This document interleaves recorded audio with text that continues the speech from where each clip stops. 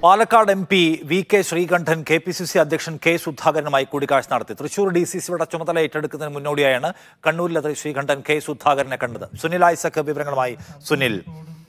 എന്തായിരുന്നു ഈ കൂടിക്കാഴ്ചയുടെ ഉദ്ദേശം എന്ന് നമുക്ക് അറിയാൻ കഴിയുന്നുണ്ടോ?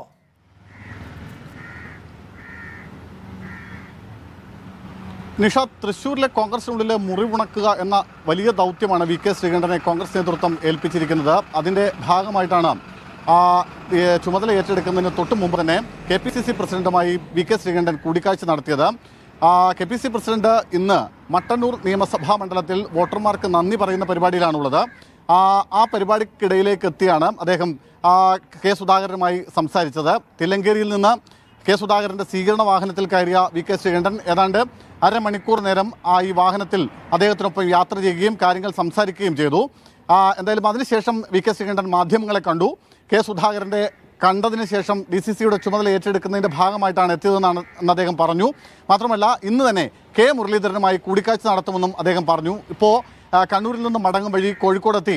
കോഴിക്കോട്ടെ കെ മുരളീധരന്റെ വസതിയിലെത്തിയാണ് അദ്ദേഹവുമായി ചർച്ച നടത്തുക. അദ്ദേഹത്തിന് പറയാനുള്ള കാര്യങ്ങൾ പാലക്കാട് എം പി കെ സുധാകരനുമായി കണ്ണൂരിൽ കൂടിക്കാഴ്ച നടത്തി.